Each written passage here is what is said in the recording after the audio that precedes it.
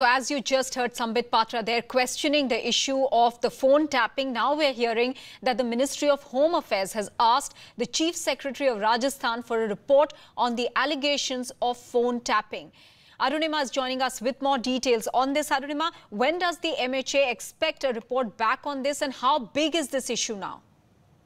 Uh, see, it has become political because uh, what has been alleged by the Bharatiya Janata Party is that phones have been tapped uh, the Rajasthan government has been silent on how, and when I mean the Rajasthan government, I mean Chief Minister Gehlot's camp, hmm. uh, they have been silent on how these phone recordings came out into the public domain. Hmm. But because Union Home Secretary is the nodal authority, uh, there are agencies and there are strict guidelines as to why and how phones can be tapped and the Union Home Secretary is the nodal authority for authorizing phone tapping by these agencies. Hmm. If any tapping is happening without his authorization, hmm. uh, what circumstances is that happening, hmm. whether guidelines are being flouted or not, uh, all of that is, is a violation of the guideline and therefore I think the ministry has stepped in hmm. and asked the chief secretary to clarify if the hmm. allegations being made are correct or not. As far as timeline is concerned, hmm. hmm. ministry will expect Rajasthan government to uh, submit the report as soon as possible. Hmm. But again, like I said, the matter has become political. It's a Congress government in Rajasthan. Hmm. Uh, the chief minister is still there, the Congress chief minister Ashok Gehlot.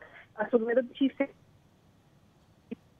Right. Arunima, they're getting us all the details with regard to the Ministry of Home Affairs now stepping in and seeking a report from Rajasthan government. Uh, the Chief Secretary there.